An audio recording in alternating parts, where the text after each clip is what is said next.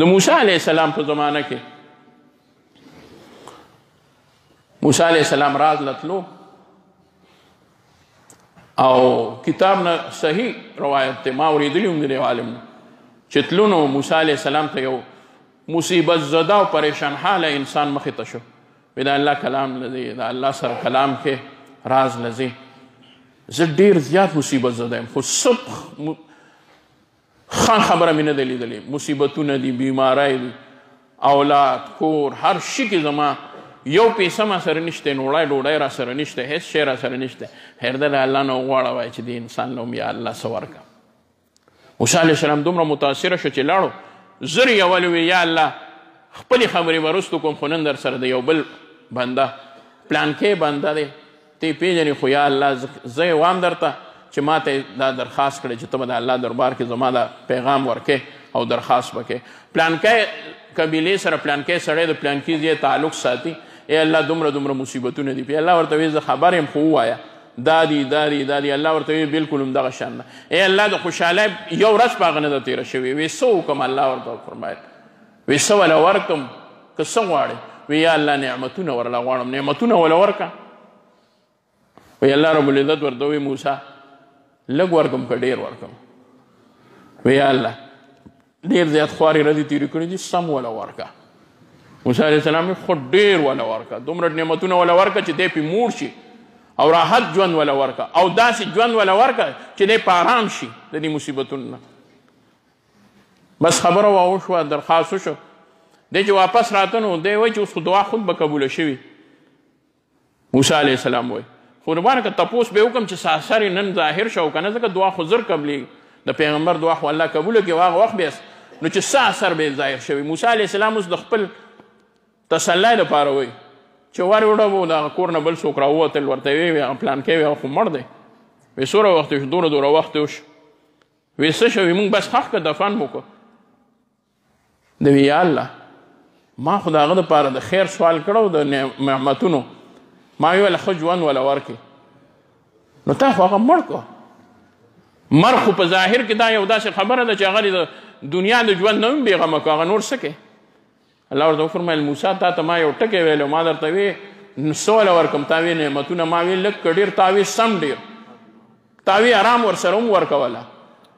نو ما وی چې په دنیا کې بس نعمت چې د دل ورکم ما سره خو چې ډیر نعمتونه دی هغه ما آخرت کې خېدي او د آرام ژوند خو ما د آخرت خېدي نو زه دل سره هغه دلته کې ورکم دلته ټول نعمتونه ورکم جنت ولا نه ورکوم دلته کې نو ما وی چې راشه چې داسې نعمتونه ولا ورکم چې ولې مړ کم بیا جنت ته داخل کم اوس که دا غي سړی نه دا تاسو کړو چې مړېږي نو هغه به وی چې نه خداغه نه سم د پیردوسی هغه اس جوړ کړ پیردوسی او شاعر تیر شوی دی او بادشاہ له باتو قصیده به ورته اوروله چې قصیده به ووینو بادشاه به خوشاله یو ځل بادشاه دومره خوشاله شو پیردوسی څه غواړي وی بادشاه سلامت وی چې څه راکې وی پیردوسی ما سره یو اعلی نسل اس دی وی دا واخله د هندوستان بادشاه چې څنګه پیردوسی شاعر له غریب له خوار له سم خوار پاړو هغه له هغه اس ورکړ، نو هغه خو اس راوست، خو ګیر پیر ترې ګرځي او هغې پسې هم اشعار وویل چې زه ځان له نه مومم نو تاله به څه درکړم. غم خو د دې خبرې دی لکه دې وخت سره چې موږ پیران او مولا مولان له څوک ګاډی راکړي ډریور ورسره رانه کړي نو بیا ګرانه شوه بیا چې روزانه پکې تیل نه چې بیا ګرانه شوه زه خو هم چې دا ما سره کوم ملګري دا خدمت کوي یو ګاډی راولي بل هغه ورځ مې سوچ کوم دی له به الله دوه اجره ورکوي یو یو د څه یو ما ګرځوي نو زه ورته دعا وکم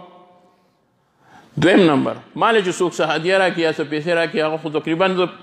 چاله ورکوم یا دلته یا طالبانو خادمانو هلکانو دې کشرانو له یا په میلمنو نو یو دا ده چې ما دی ته دعا وکړه په ما باندې احسان وکړو دویم نمبر د دی هغه پیسې هم په صحیح ځای کې استعمال کوم د خو دعا جوړه هغه ورځ چا د خانکا پورې راوستم نو دوا مې ورته وکړ نو ما ورته وې ما زما دوا ډیره ده او کنه ستا تیل ډیر وسوځېدل وینه جی دوا ډیره ده ما مړه خو چې ګاډی نشته نو خود یو کیلومتر پسې دور اوږده دوا وکم